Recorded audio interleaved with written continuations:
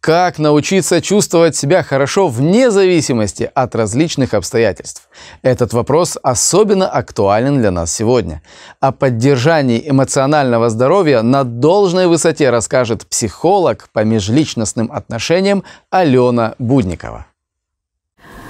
Когда в жизни человека происходят события, которые выбивают у него почву из-под ног, психика воспринимается это как горе – то, что произошло со всеми нами, можно сравнить с таким природным явлением, как землетрясение, только вот не в буквальном смысле, а в социальном.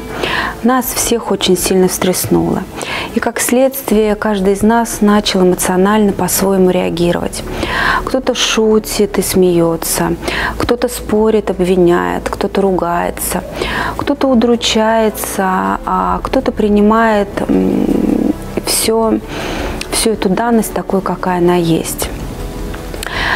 Как помочь себе а, удерживать свое эмоциональное равновесие?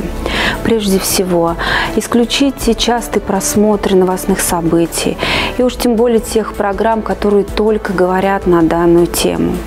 Сейчас самое время каждый день заваривать себе чай с мятой. Подвижные игры и свежий воздух – Понятно, что в нашей ситуации это сложно, но даже здесь можно найти выход.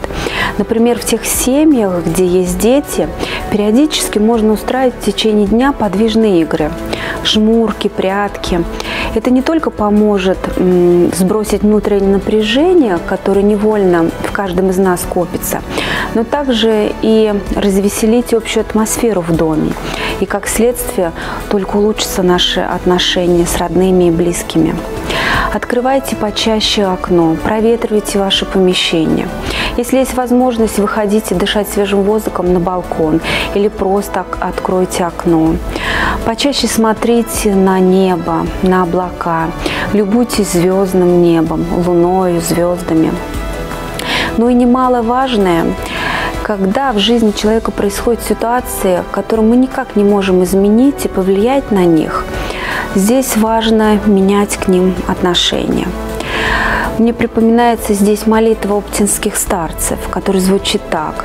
«Дай мне разум и душевный покой, принять то, что я не могу изменить, даруй мне мужество извини, изменить то, что я могу изменить, и дай мне мудрости отличить одно от другого».